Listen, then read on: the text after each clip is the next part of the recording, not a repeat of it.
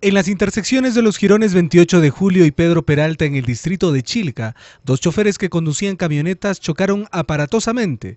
El vehículo que resultó con las cuatro llantas por los aires fue la camioneta de color azul con lunas polarizadas de placa de rodaje F3V915, conducido por Wilfredo Isaías Palacios Santos, que terminó volcada. Amigo, ¿en qué circunstancia sucedió el accidente? Periodista. Pero está el trayecto llevando a, mis hijos al colegio. Ya, el, ¿es por eh, excesiva velocidad o el chofer estaba ebrio? No, no sé la verdad el conductor del otro, excesiva velocidad, pero estaba viniendo excesiva velocidad y está todo lo que arrastrado todo su freno.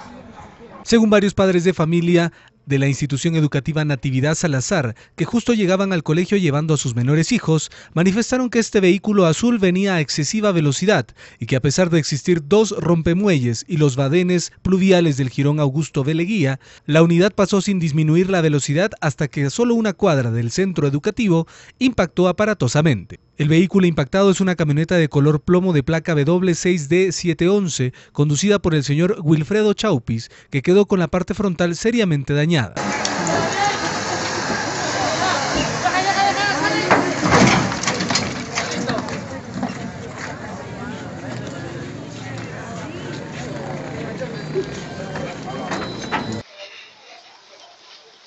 es la otra camioneta que ha impactado con otra camioneta.